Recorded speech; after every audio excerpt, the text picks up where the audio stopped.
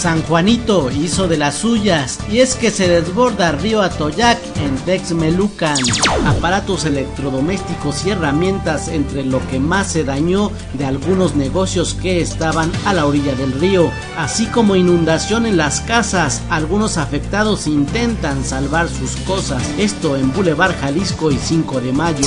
Socorristas y personal de protección civil acordonan el área hay personas desaparecidas en Tlaxcala tras desbordamiento del río Atoyac causa afectaciones en la franja desde Atotonilco hasta Nativitas. Se reportan centenares de familias que quedaron atrapadas en las azoteas de sus casas, ya que el afluente se desbordó y arrasó con casas, automóviles, animales de traspatio. La situación se reporta grave y se están movilizando cuerpos de emergencia de todo el estado a la zona. En Puebla capital, autos y casas inundadas por fuerte lluvia.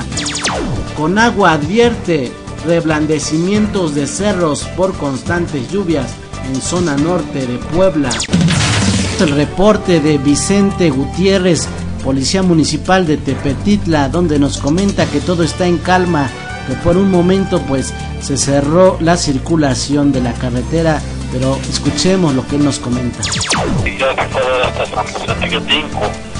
Ahí ya, eh, lo que pasa por la acumulación de cosas que lleva el río, pues lleva muebles, lleva este, llantas, lleva infinidad de cosas, mi jefe. Entonces, a ahí se atascó, ya se hizo una con fuerza. Entonces, lo que pasa es que, es que ya, ya está. Afectado, ¿no? Entonces, eh, eh, está desbordando. Ya ahorita ahí protección civil ya, ya llegó, ya va a empezar allá. Obviamente no ¿no? Que es lo que creo al punto de la comunidad. Vicente Gutiérrez, mi jefe Vicente Gutiérrez, eh, Policía Municipal de hay que retirarse un poco más porque se desgajó un cerro, entonces va a venir con fuerza. Agradecemos a los que nos enviaron sus mensajes y pudimos enviarles personal de apoyo.